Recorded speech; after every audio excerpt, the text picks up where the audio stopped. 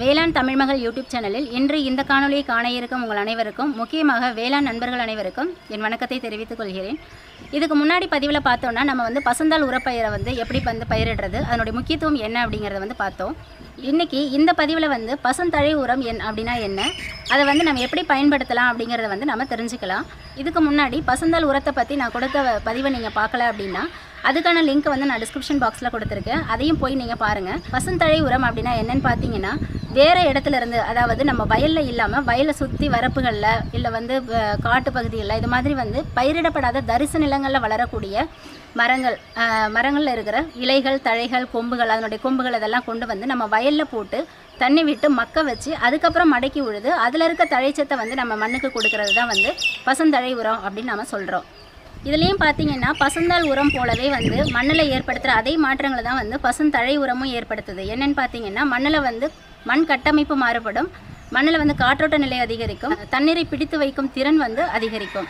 அது மட்டும் இல்லாமல் நமக்கு வந்து பயிரோடைய மகசூலையும் வந்து நமக்கு அதிகரிக்கக்கூடிய தழைச்சத்து வந்து நமக்கு இதில் இருந்து அதிகமாக கிடைக்குது. இதில் ஒரு வித்தியாசம் என்ன அப்படின்னு பார்த்தீங்கன்னா பசந்தால் உரப்பயிர்களை வந்து நம்ம வயல்லையே வளர்த்து பூக்கும் தருணத்தில் வந்து நம்ம அதை மடக்கி விழுவோம் ஆனால் பசந்தழை உரத்தை வந்து நம்ம வெளியிலேருந்து சேகரித்து கொண்டு வந்து வயலில் போட்டு அது மக்க வச்சு அதுக்கப்புறம் வந்து நம்ம மடக்கி விழணும் என்ன நன்மைகள் அப்படின்னு பார்த்தீங்கன்னா ரெண்டுத்துக்கும் ஒரே மாதிரியான நன்மைகள் தான் வந்து நமக்கு வயலில் கிடைக்குது. இப்போ நம்ம வயலில் பயன்படுத்தக்கூடிய பசுந்தழை உரங்கள் என்னென்ன அப்படின்னு பார்த்தீங்கன்னா இது வந்து வேம்பு. இது வந்து நமக்கு எல்லா இடத்துலையுமே நமக்கு வயலை சுற்றி கிடைக்கும். நமக்கு எல்லா பக்கமுமே நமக்கு இது கிடைக்கும். இதில் இருக்கிற தழைகள் இந்த இளம் கொம்புகள் இதெல்லாம் வந்து நம்ம உடைச்சி நம்ம வயலில் வந்து போட்டு அது நறுக்கி போடணும். அதனால் இந்த கொம்புகள் எல்லாம் வந்து நீங்கள் நறுக்கி போடணும். நறுக்கி போட்டு மக்க வச்சு நம்ம வந்து ம- மடக்கி வந்து உழலாம் இது வந்து பார்த்தீங்கன்னா இழுப்ப மரம். இழுப்ப மரத்துலேருந்து உடைச்சிட்டு வந்த கொம்பு. இதையும் வந்து நாம் வந்து பசுந்தழை உரத்துக்கு பயன்படுத்தலாம்.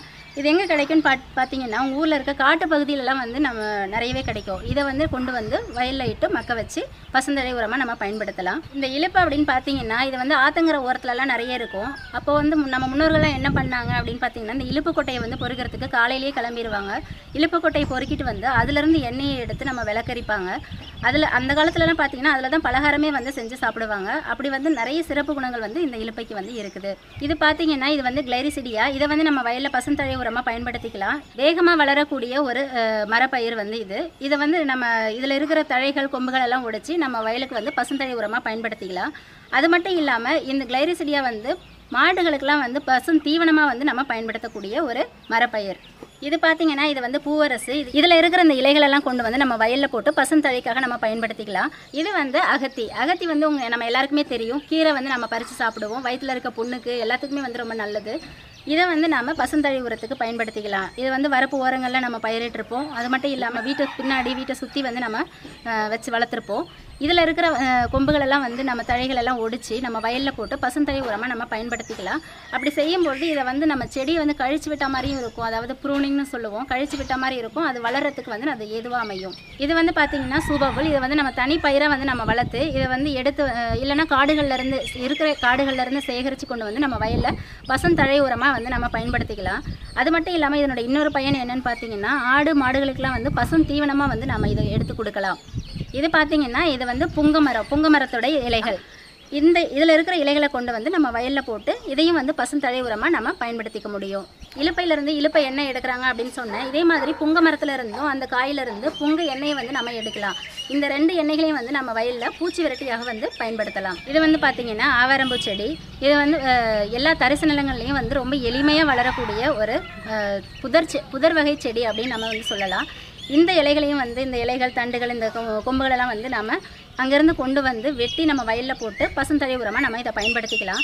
இப்போ இதை பார்த்தீங்கன்னா இது வந்து எருக்கஞ்செடி இது எல்லா இடத்துலையும் வந்து ரொம்ப எளிமையாக கிடைக்கக்கூடியது. இதையும் வந்து நம்ம பசுந்தழை உரமாக பயன்படுத்தி நம்ம மண்ணில் வந்து தழைச்சத்தை வந்து நம்ம அதிகரிக்க முடியும். போன பதிவில் வந்து பசுந்தாள் உர பயிர்களில் வந்து நம்ம வந்து கொளிஞ்சியை பயன்படுத்தலாம் அப்படின்னு நான் வந்து சொன்னேன். அது வந்து என்னென்னா நம்ம வயலில் வந்து இந்த விதையை விதைச்சி நம்ம மடக்கி பூக்கும் தருணத்தில் வந்து நம்ம மடக்கி விழணும் ஆனால் பசும் தழை உரமாகவும் வந்து நம்ம இதை பயன்படுத்திக்கலாம். எப்படின்னு பார்த்தீங்கன்னா தரிசு நிலங்களில் வந்து இந்த கொளிஞ்சி வந்து நிறைய வளர்ந்துருக்கும். அந்த இந்த மாதிரி தரிசு நிலங்களில் இருக்கும்போது அதையெல்லாம் சேகரித்து கொண்டு வந்து நம்ம வயலில் போட்டு மக்க வச்சு அதையும் வந்து நம்ம பசுந்தழை உரமாக பயன்படுத்திக்கலாம். பசுந்தாள் உரப்பயிர்களை போலவே பசுந்தழை உரங்களும் வந்து நம்ம மண்ணில் வந்து மண் வளத்தை அதிகரித்து பயிருக்கு தேவையான தழைச்சத்தை வந்து கொடுக்குது.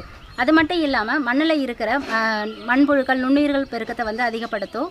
கலைகளை வந்து கட்டுப்படுத்துறதுல இது வந்து ஒரு முக்கிய பங்கு வகிக்குது. மண்ணரிப்பை வந்து தடுக்கிறதுலையும் வந்து பசுந்தழை உரங்களும் வந்து ஒரு முக்கிய பங்கு வந்து வகிக்குது. அதனால் பசுந்தாள் உரங்கள் பசுந்தழை உரங்களை பயன்படுத்தி மண் வளத்தை அதிகரித்து மகசூலையும் நம்மளால் அதிகரிக்க முடியும். பசுந்தாள் உரம் பசுந்தழை உரத்தை வந்து அனைத்து விவசாயிகளும் பயிர் சாகுபடியில் பயன்படுத்துமாறு கேட்டுக்கொள்கிறேன். இந்த வீடியோ உங்களுக்கு பிடிச்சிருந்ததுன்னா லைக் பண்ணுங்கள் ஷேர் பண்ணுங்கள் உங்கள் கருத்துக்களையும் சந்தேகங்களையும் கமெண்ட் பாக்ஸில் கமெண்ட் பண்ணுங்கள் இது வரைக்கும் நம்ம வேளாண் தமிழ் மகள் யூடியூப் சேனலை சப்ஸ்கிரைப் பண்ணாமல் இருந்தீங்கன்னா சப்ஸ்கிரைப் பண்ணுங்கள் பக்கத்தில் இருக்க பெல் ஐக்கானை கிளிக் பண்ணுங்கள்